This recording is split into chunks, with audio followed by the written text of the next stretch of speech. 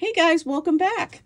So now we're moving on to the fourth project from my um, gift cards and money holders class. Um, this is a class I taught recently at Ready Set Crop weekend retreat. Um, and this features the Silver Bells collection from Close to My Heart.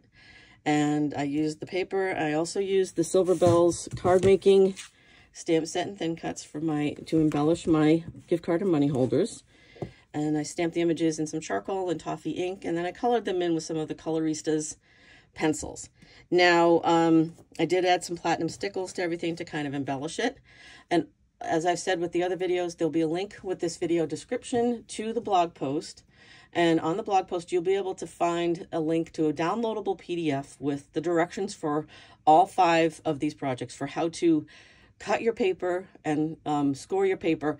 And I do recommend and I've said this before, as you cut the paper, put it into piles for each project. And then that way you aren't confusing pe pieces that go with one project from another project. It's just kind of my recommendation and what I found from my own kind of trial and error.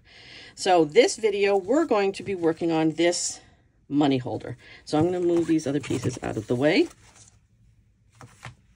And for this, this is a fun one. It just moves out. But this one has a nice little kind of diagonal pocket. So what we're going to do is we need to do this. We're going to, of course, need our cut pieces from this and our cardstock. We're going to need some strong tape. Some I use um, some tear and tape, good, a nice adhesive. You're going to need um, also a um, trimmer and a scoring platform or a scoring blade for your trimmer. So what we're going to do first is we're going to do our scoring. Now we're going to be scoring on the, this piece is seven inches wide by nine and a quarter inches tall. We're going to be scoring this along the nine and a quarter inch side. So we're going to score it at, I'm just going to pull that out. Nice. I like to score on the back side. We're going to score this at three inches. And then we're going to score this again at six and a quarter inches.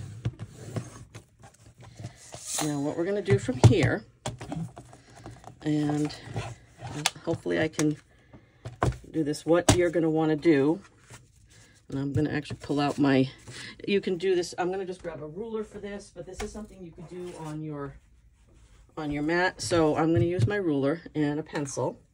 So what I'm going to do is because we're going to cut.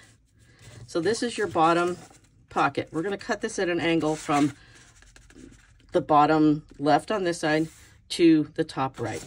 So we're going to mark along this side. So from that three, this score line here, we're going to mark one inch down with our pencil. And I, hopefully you guys can see this. And then we're going to mark from the bottom corner here, one inch in, okay?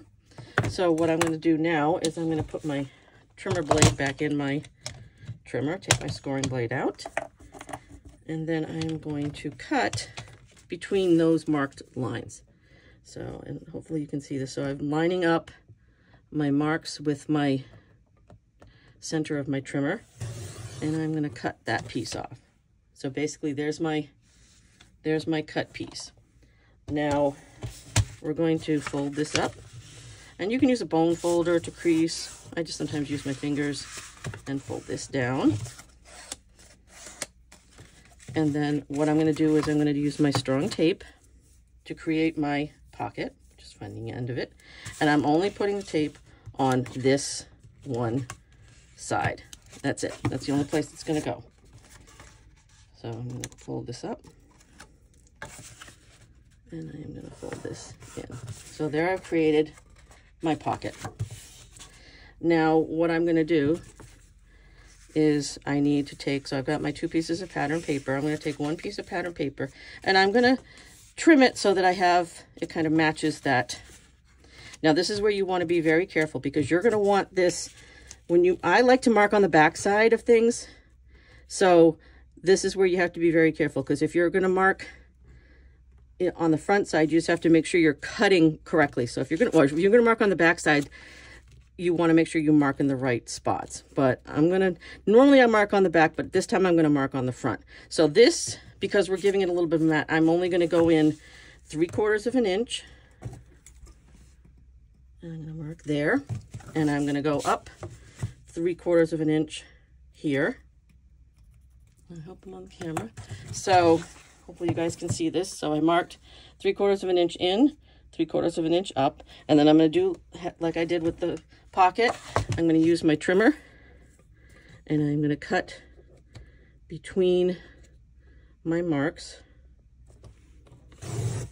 and cut off my pocket piece. And then I am going to adhere this to the front of my pocket.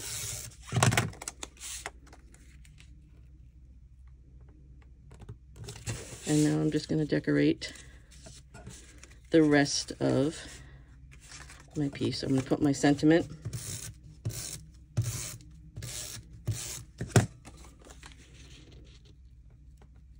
sentiment strip in and then I'm going to mat my pattern piece for the front. Now, as with the cutting directions with this, um, you know, we used two pieces of pattern paper and I used basically all of the zip strip for it.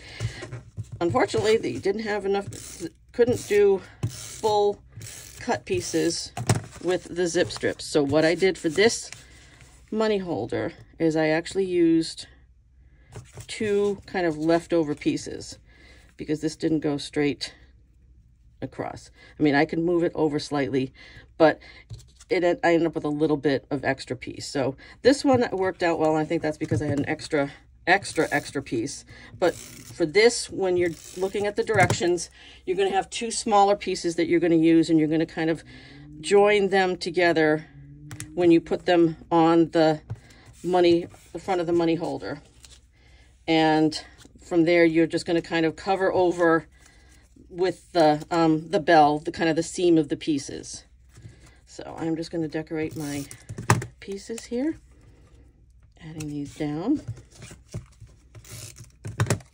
And I put this on the inside. And then the last thing I did with these is I used some platinum stickles to give a little bit of bling to my pieces. And of course, I'm going to set this aside and I'm going to be very careful when I do so that I don't squish any of the glue before it dries because you guys know stickles takes a little while. Oh, sorry if I'm off camera to dry. So I'm just going to add some more stickle dots. And there is the second money holder from the class. And I hope you guys like this. And I hope you're enjoying all of these videos. And if you do, please like and subscribe to my channel. Thank you and have a great day.